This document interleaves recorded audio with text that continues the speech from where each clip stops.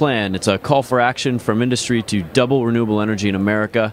Uh, President Obama has called for this within three years. I'm with two gentlemen here who have got some innovative technology they'd like to tell us more about. Um, Mike Jaap and Dan Shapiro. Gentlemen, if you could uh, explain your company a little bit, uh, I think it would be uh, very interesting for us all. Mike. Sure. Thanks, Chris. Uh, one of the aspects of our of our company is to try to commercialize a newly patented idea, which involves taking municipal solid waste and other similar waste, such as auto shredder residue, uh, through a technology that involves the use of CO2, which uh, heretofore has been an inert gas, thought not to be able to uh, react with anything.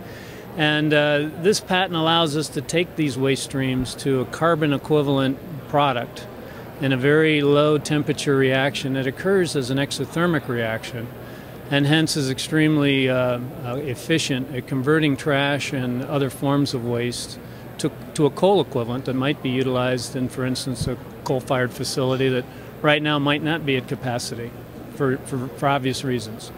Excellent. Uh, and do you have any projects planned uh, in the near future?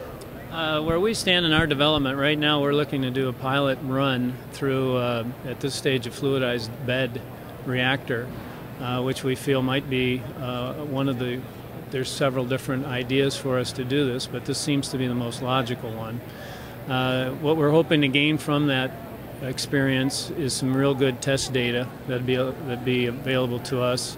And that would give us a chance to go to engineering companies and figure out exactly what we've got in terms of costs and uh, viability toward commercializing this whole process.